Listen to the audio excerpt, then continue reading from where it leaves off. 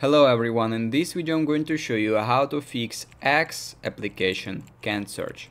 So basically this is definitely a bug. Uh, to fix this you need to go to the settings on your device and then scroll down until you will find general here. This is a option with a little gear icon. So now you need to scroll down and you will see iPhone storage right here. You need to go for it and basically there is everything that is stored on your iPhone. Here you need to scroll down this list of applications and find here X application.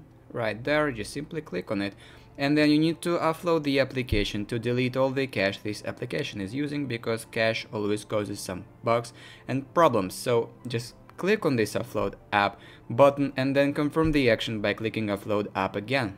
And then reinstall your application so if this didn't work, the next thing I should suggest you to do is you need to go to the App Store on your device, then go to search and search for X. Then here you need to choose uh, X application and you need to make sure that you are using the latest version of this application because if you are not you will see an update button here instead of open button and using an older version is not recommended because there may be some bugs or problems with the old version and you need to update uh, the app to the newest version to use uh, the latest version without any bugs and problems. So basically that is how you can fix apps X application can search problem. If you found this video useful leave a like and subscribe to the channel. Thank you.